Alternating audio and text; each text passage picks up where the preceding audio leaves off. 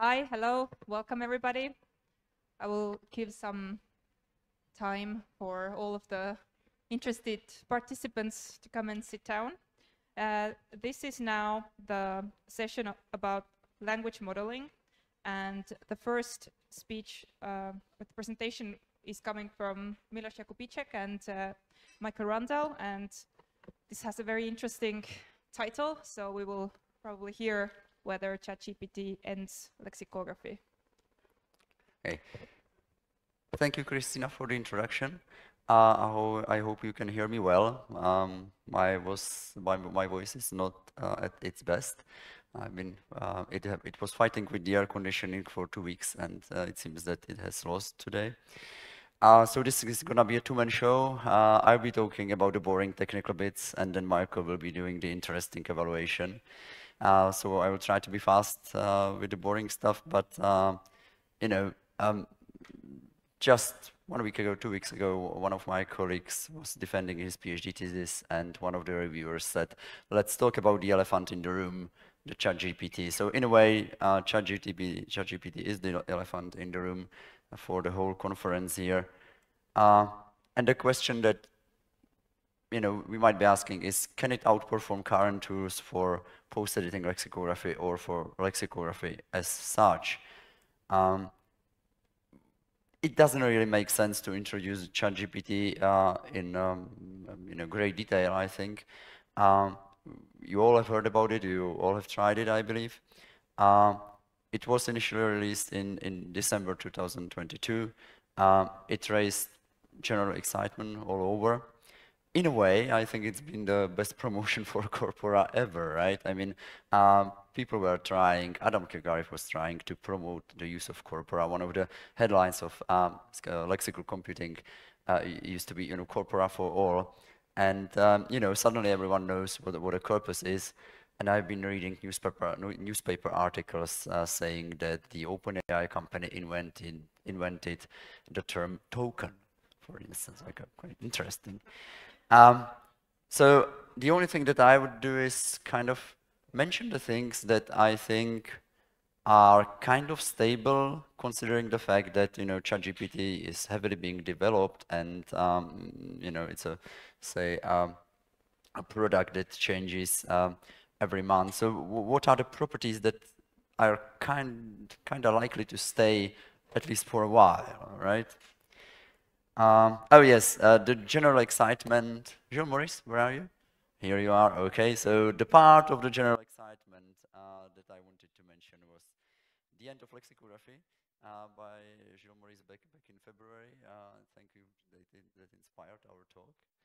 Um, and uh, well, the question that we really want to um, ask is, um, can it take all over dictionary maker's task or not, or um, is this going to happen in the in the near future? Um, I guess the most important thing uh, about ChatGPT or GPT generator to, to realize is that it's language modeling, not language reasoning.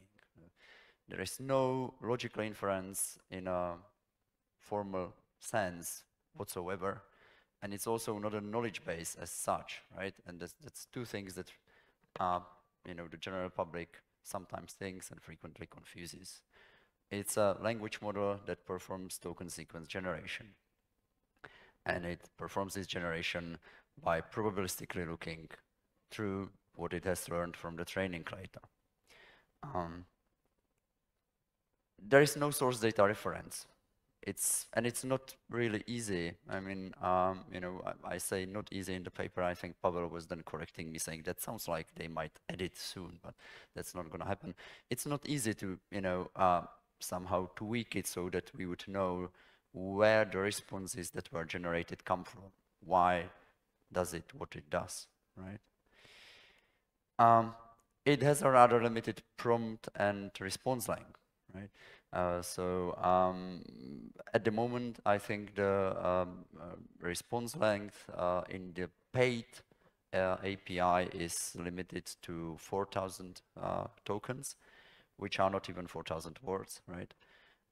and under some scenarios, one can get up to 16,000, but there is no way that we could um, realistically think of generating, say, millions in a sort of near future. Um, it performs translation through multilingualism. 92% of the training data, uh, which are very poorly documented, as uh, I think uh, many of you have heard. So 92% is English. Uh, and the translation is kind of built into the model. There is no separate translation system. Um, as a result of that, um, using ChatGPT for bilingual lexicography um, you know, is quite hazardous, actually. I'm giving, we are giving examples in the paper, but basically whenever you try um, to generate um, word sense distribution for uh, a non-English word where the English counterpart has more senses, you will get the English senses translated back into your source language as a complete garbage. A prompting is absolutely crucial to get the right response and uh, we can expect that in the same way like uh, people were um, doing Googleology by trying to figure out how to ask Google to get the, the best answers. Now we, we will have this GPTology by people, you know, trying to figure out what prompts uh, are best in terms of getting the right response. Um, and uh, both the learning and the inference are non-deterministic. Uh, non-deterministic learning is quite standard with neural networks. Uh, for various reasons uh, in the first place because the initial weights are typically assigned at random.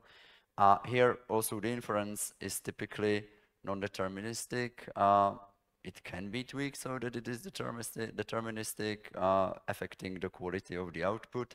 So typically it is not done. Uh, and that means that, um, you know, um, whatever you do is of very limited reproducibility. You try something, you show to your colleagues, they retry, they get something completely different. This definitely affects also the reproducibility of our own study. Um, and the model is kind of static. You can, um, you know, um, perform some additional training, but as of now, you get all these warnings that it has data until 2021. Uh, and you get workarounds like various types of plugins into it to access newer information. But um, as it happens in machine learning, you train, you get a model, that's it. Okay, so now what did we do? Um, we have made an English mini dictionary consisting of uh, not even 100 headwords uh, that uh, were uh, reused from uh, the Dante project, which some of you uh, might remember, uh, collaboration between Foras na Gaeilge, the Irish Language Institute, and Lexicography Masterclass, the company of uh, Sue Atkins and Adam Kilgarriff and Michael Rundell, um, that uh, no longer exists, uh, back in 2006, 8, something like that, right?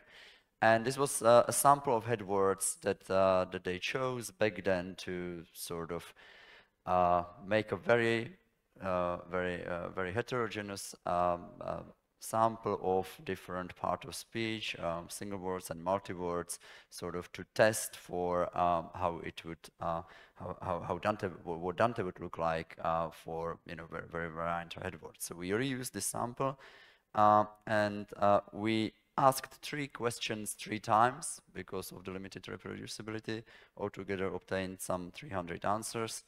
Uh, we asked three times because of the reproducibility, and we asked three questions because um, ChatGPT is GPT fine-tuned for chat. There, there is some additional tweaking for the chat purposes, and, and you quickly realize that uh, you know um, the longer you ask, um, it, the length asking three questions and one question is simply not the same. There is some, um, you know, built-in reward mechanism in the training in terms of that it likes to chat simply. So we sort of primed by first saying, okay, what does the word age mean? Then asking, generate a dictionary entry for age, and finally um, asking the full question uh, in the uh, in the third line, right? And we kept all the three answers from all the three runs. Uh, we loaded them into Lexonomy, and that's where you can have a look. By the time I was doing this, before the uh, deadline for submitting abstracts for ELEX, there was no API whatsoever for ChatGPT. That was just after Christmas. Um, so I uh, used a workaround uh, that uh, someone has quickly uh, put together that was simulating browser access as if one would be clicking in the interface and collecting the answers. ChatGPT kicked me out like, um, you know, once per five minutes. So uh, getting the 300 answers took about three weeks or two weeks or something like that. Uh, but, you know, we made it. Then later we repeated once the API was published uh, and the model was coined as 3.5, uh, and that's the other dictionary. Uh, ChatGPT 4 did not have the API by the time we were preparing the full paper. It now has, even though with some limited access. Um, and this is it for me. So I will just gladly uh, hand over to uh, to Michael uh, to discuss what you can find in the dictionary.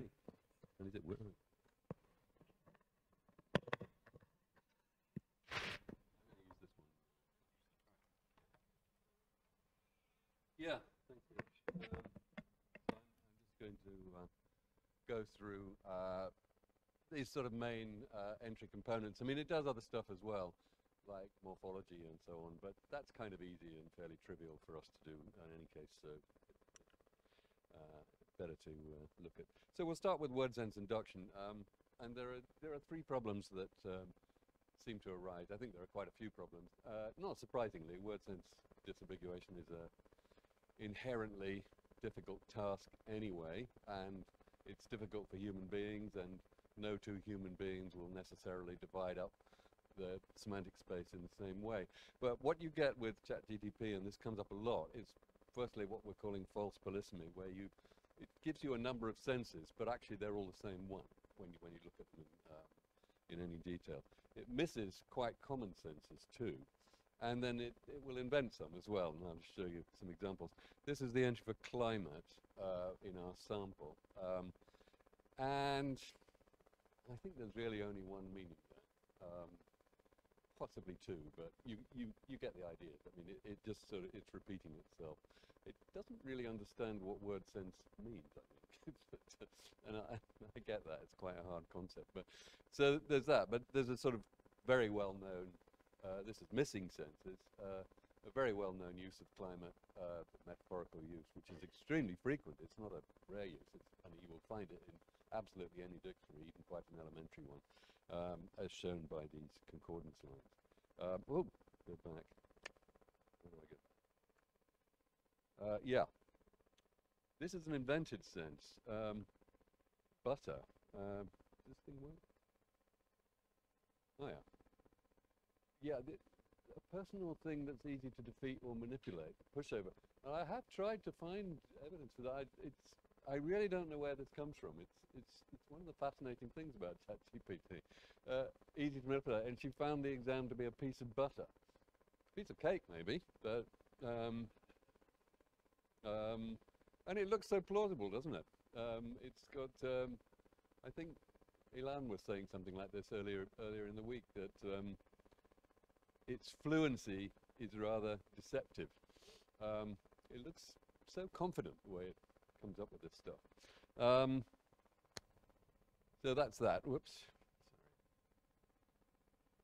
So yeah, so senses we we had um, the repetition, um, same sense done several times, um, the invented senses and the missing senses. So that's not great. Definitions. Um, definitions are generally pretty good, actually. Um, can you guess what that's a definition for, the last one at the bottom? Um, person who spends a lot of time sitting and watching television or playing video games and is generally inactive. Couch potato, yeah, yeah. So you know, I mean, it works works in that direction too. Um, and I think its its account of the word careful is is pretty good on the whole. Um, next, uh, yeah, a, a, lot of problems with uh, grammar and, and syntax too. Um, this um, second meaning of haunt uh, does evoke a real, a real use of the verb, um, but you find in the, the definition, it's a definition of a verb, but it's got a kind of adjective phrase followed by a noun phrase. Um, it's a real meaning, um, you know, you talk about a decision someone makes, which later comes back to haunt them and so on. So it's referring to something real, but it's not doing it um, in a very intelligent way. Uh, problems with grammar and syntax also, this is, uh, let me show you what I'm looking at here. Uh, uh, oh yeah, okay. This is, uh, Milos was talking about it being non-deterministic, meaning that you get a different answer every time you ask the same question. Um, and this was two questions for Enjoy, with it actually a separate experiment that's not, not in the uh, Lexonomy data. Um, but you can see that number seven there is a that clause. Um, I've deliberately used the word normal. Um, uh, this is something that I'm, I've always I learned from Patrick Hanks, who always says, um, "Don't don't ask whether something is correct. Ask whether it's normal." Um, so you may find this occasionally, but it's really not normal um, "Oh." Uh, uh, it's really not normal to say uh, to have enjoy with a that clause, and then on the other column, when you asked it again, you have an infinitive, uh, and you will quite often get that in the English of people whose first language is not English, but it's not a normal uh, pattern in, uh, if I can say it, native speaker English. Um, so sort of unreliable on that front. Uh, labeling, often quite good. Uh, any kind of marked use, whether something is uh, in some way not distributed widely um, in text and, and found in only certain types of text. So betimes, um, it doesn't give an a label archaic, but it says at the bottom it's it's an archaic word. Oh, and its usage, yeah, okay, well that's not very good, is it? Uh, it apostrophe s usage is rare in modern English. So apart from the uh, rogue apostrophe, that's a pretty good thing to say. Cookie, um, well, uh, the third one, okay, it gives a kind of domain label, computing, computing cookies. The fourth one is another made up, another made up meaning, which at least it labels as slang. Um, there is a kind of related one where the word cookie can just mean a person and in, uh, of the specified type. So you say someone's a tough cookie or she's a smart cookie, etc. But this thing about being attractive in a sexual way, it's it's a new one on me anyway. Put it that way. And and I'm I'm quite old and quite well read, so I don't think it's um, a real one. Example sentences. Are, uh, this is really, I would say, where it falls down most. And, and conversations I've had with other people who who've worked at ChatGTP, uh, Robert Lew, for example, and, and, and others, and Erin McKean, actually, saw last week in Agilex. Uh, we all had the same experience that you've got five examples there, and apart from the last one, which is actually in the present tense, um, well, first of all, they all have initial the. There's an absolute lack of diversity in the kind of examples, which is something that I think we always look for in, in a dictionary project, you know, because I'm kind of coming at this from a point of view of a being a dictionary uh, editor. So you can see that they all have the same pattern um, of, you know, uh, it starts with the, um, it's a third person subject, and the simple past, uh, which in the olden days was always a very um, accurate marker of a made up example and not a very good one either. Um, and again, uh, this is in a separate experiment. Look at these ones for fair, absolutely terrible. Um, the price of the item was fair, not too high and not too low, um, reaching sort of Gricean maxim of quantity. Um, and then the last one, I, I got this from Robert Lew. He had the same experience. The salesperson persuaded the customer to buy the product. There's three definite articles in there. Pretty awful. Um, so just a summary of that. Um, word sense induction weak, grammar and syntax weak, labeling often quite good. Uh, examples, I'd say sackable offences. I mean, anyone on on my team came up with these, I would sort of, they'd at least get a good talking to. Uh, definitions, definitely its strongest feature. I think, I think most people agree with that. Um, it does use quite often these rather dated formulae like the act or state of so and so. But, but the examples, I mean, the definitions are generally accessible, readable, good for good in terms of content and often uh, nicely written. Um, and, and that applies whether we're looking at uh, mainstream vocabulary or technical vocabulary. And even, even the things it makes up, he does it quite well.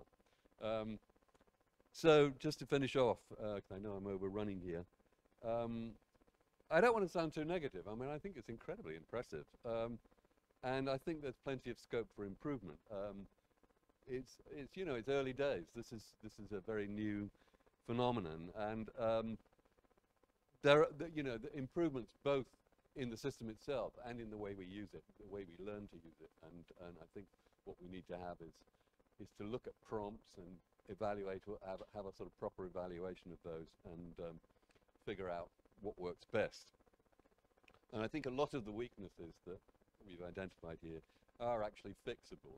Um, I mean, again, I talked to, to Robert about, uh, had these awful examples, and he actually managed to sort of train the system to do better and to produce a more diverse range of examples. So that, that's all sort of doable. Um, so we go back to our title of, what was the title? Can ChatGPT outperform, outperform current tools?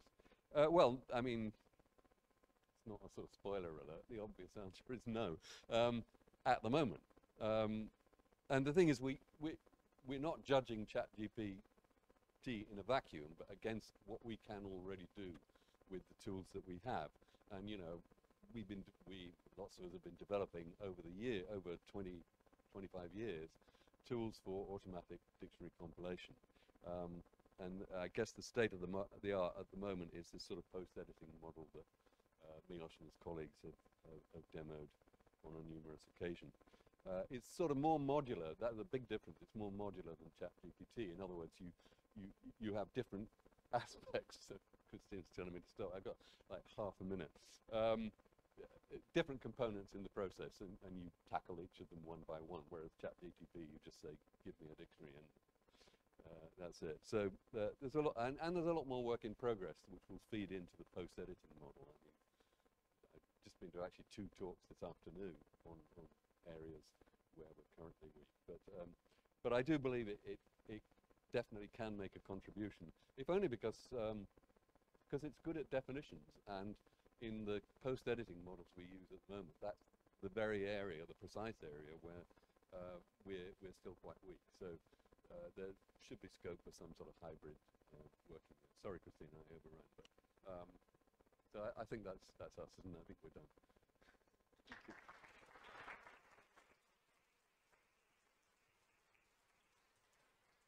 Thank you so much. This was a nice introduction to our panel discussion. We have a few minutes for questions.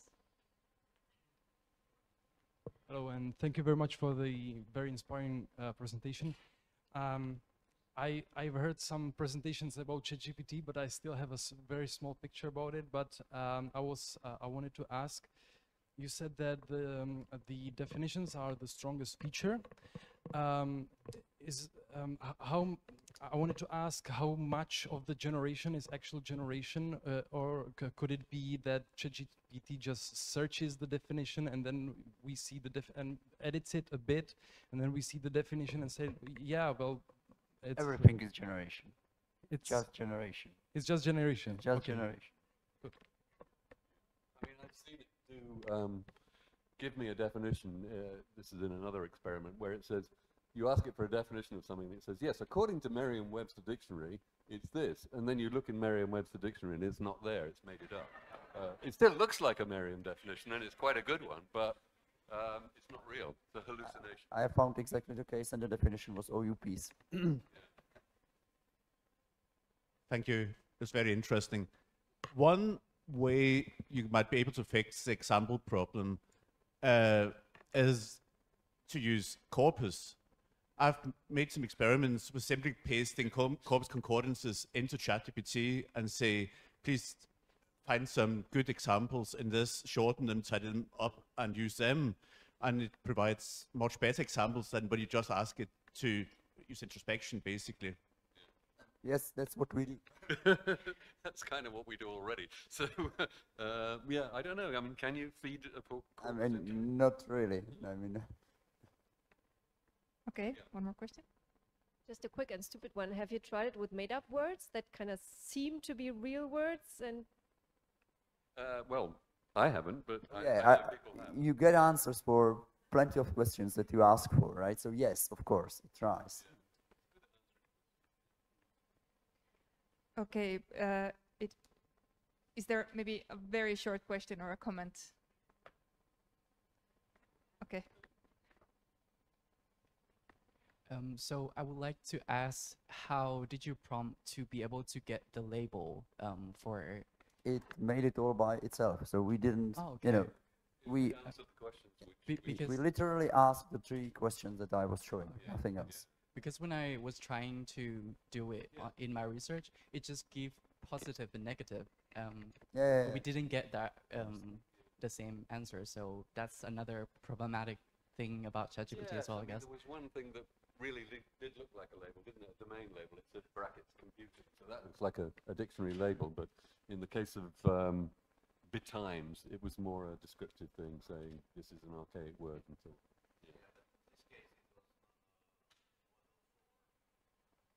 No. no, Yeah, yeah. No. No, I mean, but um, I, I don't think there are actually big changes or big differences. Let's put it that way. Okay, we are out of time. Now we have a few minutes to change the rooms if you want, and then continue in three minutes. Thank you.